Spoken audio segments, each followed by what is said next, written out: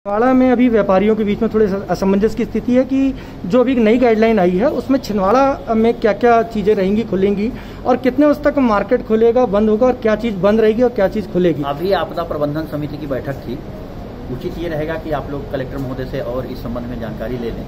कभी उस बैठक में ये निर्णय हुआ है कि जो भारत सरकार ने और राज्य सरकार ने गाइडलाइन जारी की है एज इट इज़ उसका पालन छिंदवाड़ा में भी किया जाएगा।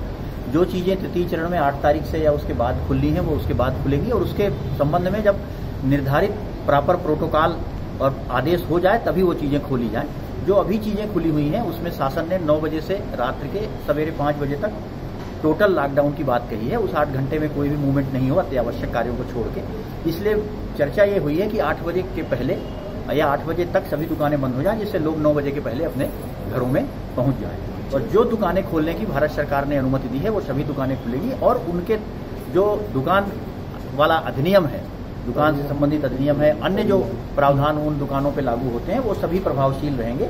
साथ ही कलेक्टर महोदय द्वारा और राज्य शासन द्वारा और भारत सरकार द्वारा जो गाइडलाइन जारी की गई है वो भी प्रभावशील रहेगी और उसके तहत ही उनको अपनी दुकानों का संचालन करना है। सर ये कब से प्रभावी लागू होगी आज से ही लागू है। आज से लागू सरकार ने कहा सर परिवहन को लेकर कुछ अभी परिवहन को लेकर अभी स्थिति वो नहीं है। अभी इस संबंध में निर्णय नहीं हुआ है। आगे जब कोई निर्णय होगा तो हम आपको अवगत कराएँगे। ठीक।